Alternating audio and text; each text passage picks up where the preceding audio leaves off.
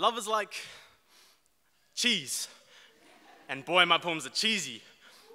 But the girl I fell for, she must have been lactose intolerant. One time her gaze met mine. Was drifting in mine somewhere else. We locked sights for a brief second until she turned away. That second lasted longer than it should have. I could feel myself entering a peripheral view which did with mine.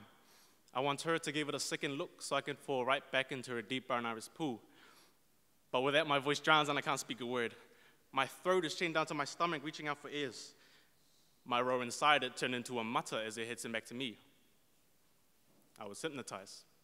I stumbled on my words a bit. Mouth dry and palms sweaty, I asked, I wonder if you know write poems about you. what do you say to the archive of thoughts I have playing through the projector stuck in my head? That I think about you so much it falls into the paper. Thoughts of ink. I have to say, I rather like the way your name looks in my handwriting. I make it look extra pretty so it truly embodies you. I mean, if you were a song, I'd sing you in the shower.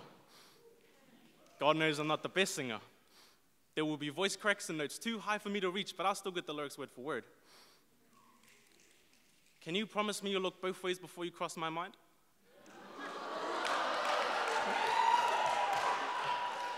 Ride my train of thought till you arrive at my chest where my heart is waiting. The chugger of the train is my heartbeat, and the closer you are, the speed will increase because this heart is pounding. I ask, Can I be your Romeo? Even if your parents hate me and Tybalt wants me dead, I'll still climb up to your balcony just to see you.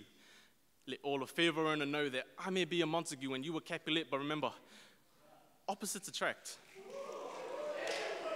Your positivity, it swallowed my negatives. I used the lingo in the most cliche of ways, walking at home like, good night, good night. Farewell is such a sweet sorrow that I shall say it to the morrow. Good night, my Juliet.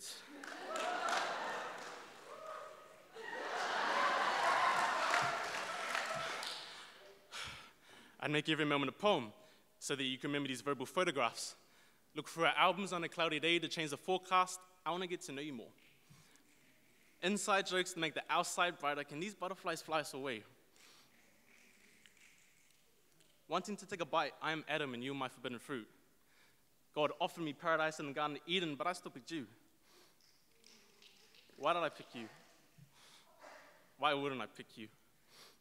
Why do I catch myself thinking about all the small things about you with a smile on my face?